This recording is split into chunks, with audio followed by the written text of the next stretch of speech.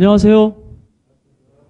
원장님이 벌써 오프닝 인사하신 걸로 알고 있는데 저 회사 6시 땡 하고 부랴부랴 왔는데 조금 늦었어요. 죄송하고요.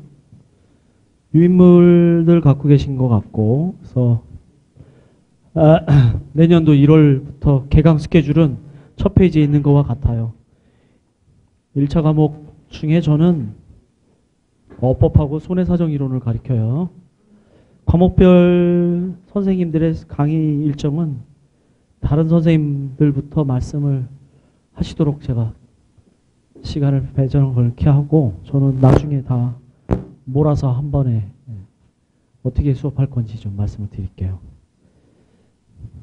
자, 모두 빨리빨리 진행하겠습니다. 그러면 처음 수- 과목은 대- 자동차 대인 실무를 맡고 계시는 오용환 선생님 오시라 그래갖고 오 선생님의 수업 계획 한번 듣도록 하겠습니다.